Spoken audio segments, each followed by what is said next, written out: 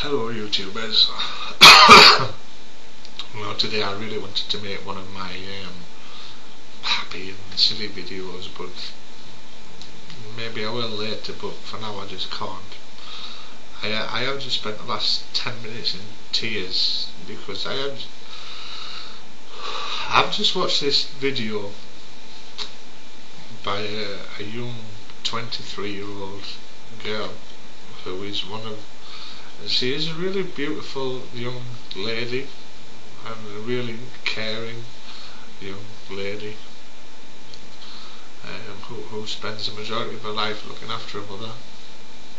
And she has this opinion of herself that she is ugly.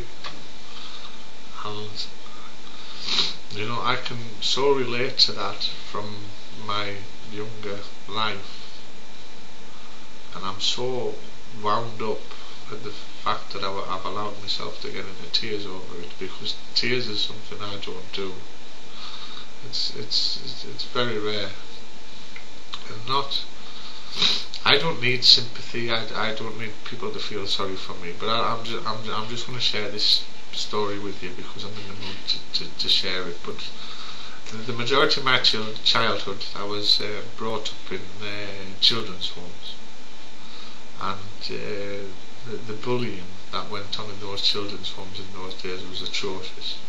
And, and one of the rituals I used to have to go through most mornings would um, the, the bigger lads in the home they would have competition. Sorry, I had to edit that bit because I got a phone call.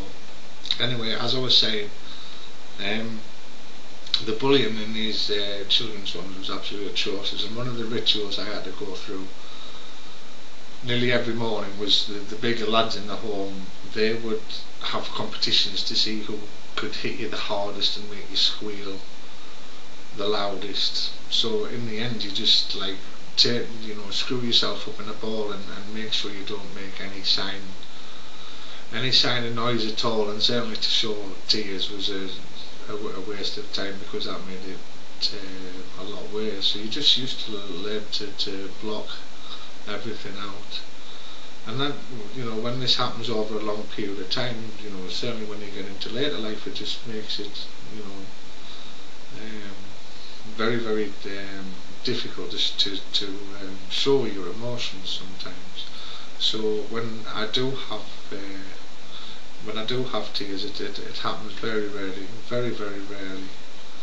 Um, the, the, the, last time I had any sort of tears was when I had to uh, come home after staying with my wife uh, last Christmas.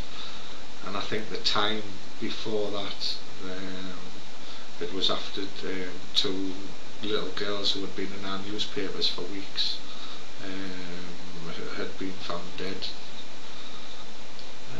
so it, it, really, really takes something to, to move me into that um, situation. And after looking at, as to why I felt the way I did this morning, it's because I know I used to feel exactly the same way that this young lady did. And it still to this day really, really, really pisses me off that society projects these images upon us that we're supposed to look in a certain way and we're supposed to behave in a certain way. And you know particularly people that, that are blessed with these things they know they're blessed with these things and, and they get their kicks out of just knocking everybody else down. And they don't realise the damage that they're doing to the people when they put other people down.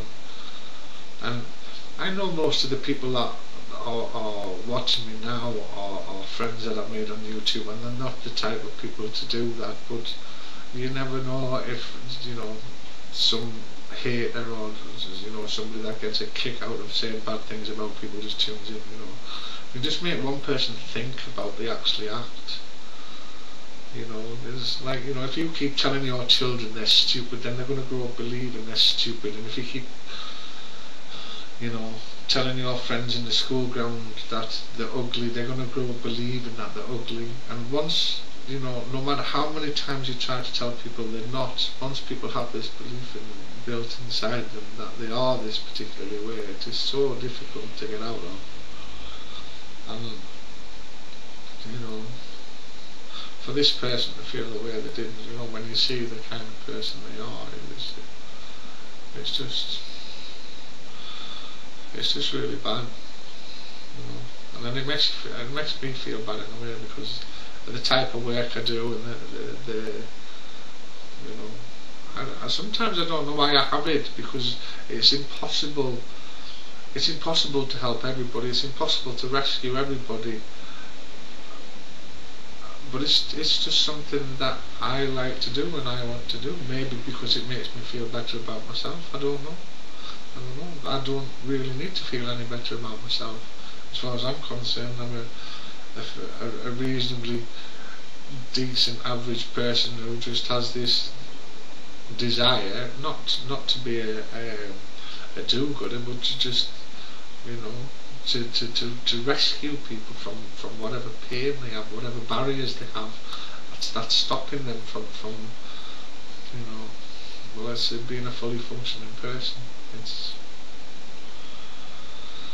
it's not good it's not good but I shall keep trying. I shall keep trying. Anyway, I shall uh, go and have a cup of coffee or something and calm down a bit. That's my grievance out of the way for the day. Catch you later. Bye.